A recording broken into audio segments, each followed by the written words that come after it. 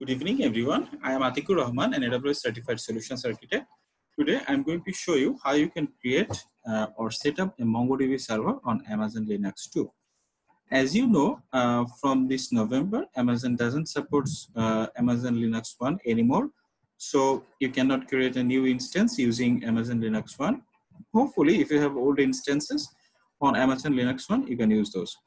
So basically you need to now learn how to use Amazon Linux 2 extensively and you need to get started or get acquainted with this. So here I will show you how you can install a MongoDB on Amazon Linux 2 and then you can use it to uh, any of your applications.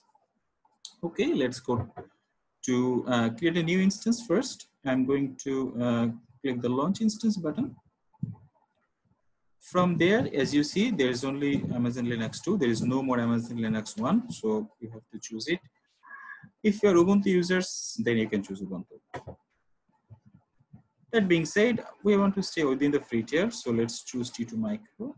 And then I'm going to uh, choose an IAM role, which I have previously configured to access SSM, actually Systems Manager. Then I'm going to create add storage uh, 8 gigabytes of storage is fine. Next, add tags, create security groups. I already have created a security group, so let's use that. Web server, preview and launch, and continue. So this will launch an uh, EC2 instance for you. I already have this PPK file, so let's launch this instance. So uh, basically this is step one where you have installed the uh, EC2 instance, where you started the EC2 instance. The next step is to connect to that instance. Uh, you can connect it via PuTTY if you're Windows user or via terminal if you're Mac or Linux users. I'm going to use Systems Manager, which is very convenient for me because it is web-based and I don't need to uh, open any IP or whitelist any IP or even I need to have any PPK file. So I'm just going to go to services and then systems manager. And inside the systems manager, I will go to uh, session manager, which is actually the page where you can connect to your instance from this web-based interface. So uh, click on the start button and then uh, click here. Then click on the start session. This will start a session and connect to your instance. So basically it's exactly same interface as PuTTY or terminal. It is, the difference is it's only web-based, okay. So now we have connected with your instance. I put a few screen below so that you can see my screen. I will type sudo yum update first. This will update the yum packages and uh, there is at this moment none because it's newly created. Okay, then I'm going to um, do an installation. But before that, I need to set up a repository for MongoDB. I have an article where you can just copy the commands.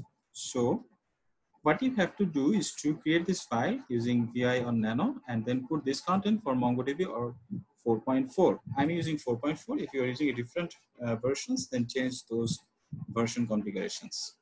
So let's go to here and then um, I'm just in the left.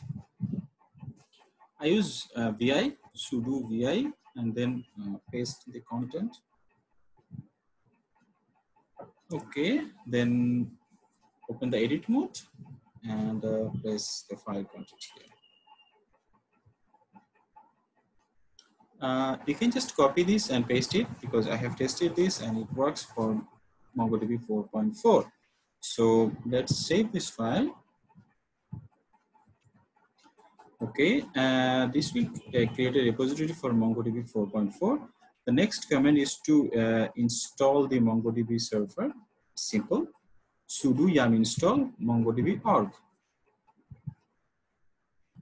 So let's put it here. And then you will going to install MongoDB org.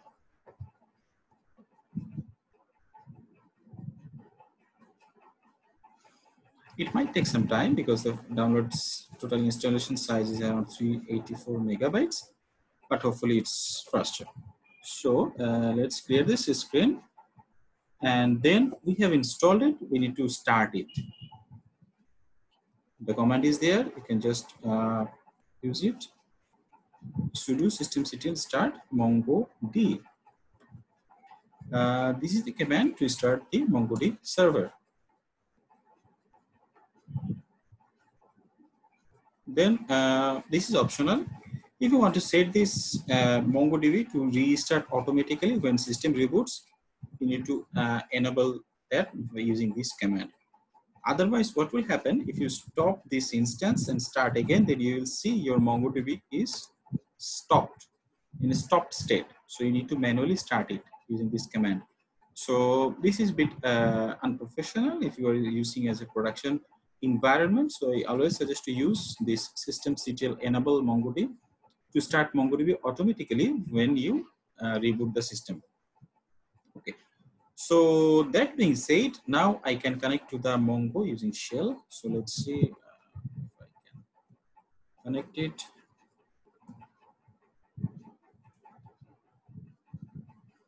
I have connected to the shell. So that's it guys. I hope this helps you to get started with MongoDB on Amazon Linux.